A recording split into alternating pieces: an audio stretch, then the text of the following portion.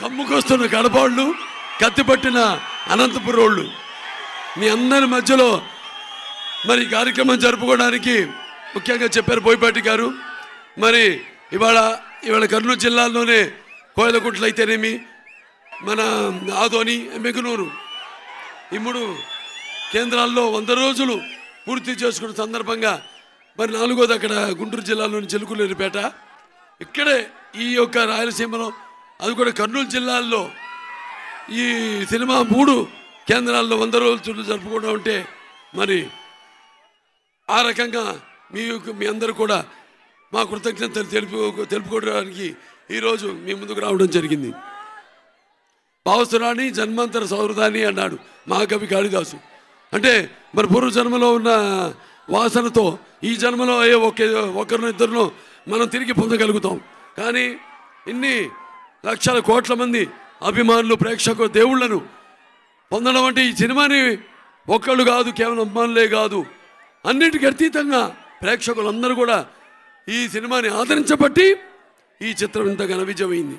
కాబట్టి ప్రతి ఒక్కరికి ప్రేక్షక దేవుళ్ళకు నా అభిమానులకు మళ్ళీ అందరూ కూడా ఇవాళ ఇంత అద్భుతమైన సినిమా తీసినందుకు కేవలం మనం గ- తెలుగు వాళ్ళమే గర్వపడటం కాదు. యావత్ భారతదేశం కూడా ఇవాళ తలెత్తుకునేలా చేసింది మన ఈ అఖండ చిత్రము.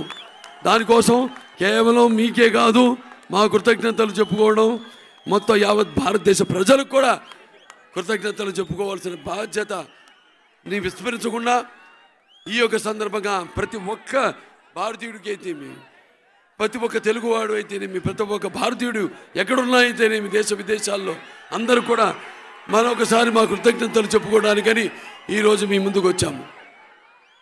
స్పర్ధయ వర్ధతే విద్య అంటారు. అంటే చరిత్ర సృష్టించాలని మేమే దాన్ని తిరగ రాయాలనే మేమే. అంటే మా సినిమాలే మాకు పోటీ. అటు లెజెండ్ సింహ సింహకి పోటీ లెజెండు లెజెండ్కు పోటీ అఖండ ఇక ముందు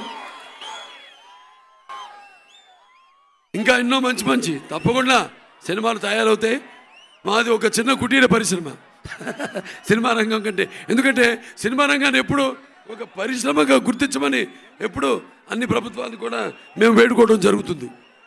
ఎందుకంటే సినిమా అంటే అంత గొప్పది మాధ్యమం అనేది. దాన్ని సరిగ్గా వాడుకుంటే అది నాన్నగారి ద్వారా నిరూపితమైంది. ఆయన నిరూపించారు.